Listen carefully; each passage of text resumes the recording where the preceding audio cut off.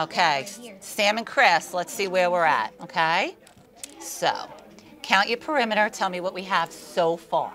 Count the edges for me. Who wants to count? Chris is going to count? Okay, you want to use your finger to point. Go ahead.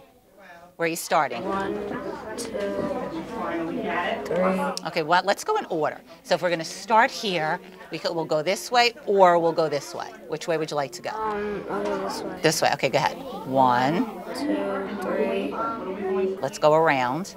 Four, five, six, seven, seven, eight, nine, ten, eleven, 12, thirteen, fourteen, fifteen, sixteen. 16. Where did we What are we 14? looking for?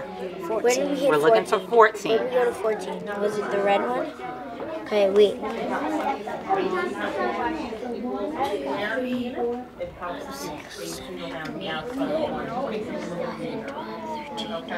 So,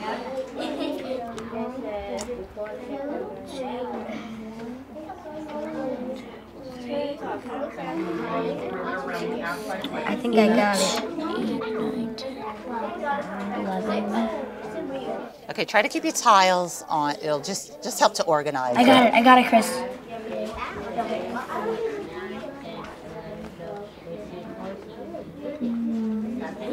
Don't know if this will work. Okay, Chris, can you can you start again? Count out loud so I can hear. One, two, three, four, five, six, seven, eight, nine, ten, eleven, twelve, thirteen, fourteen.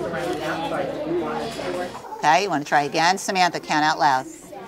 One, two, three, four, five, six, seven, eight, nine, ten, eleven, twelve, thirteen, fourteen.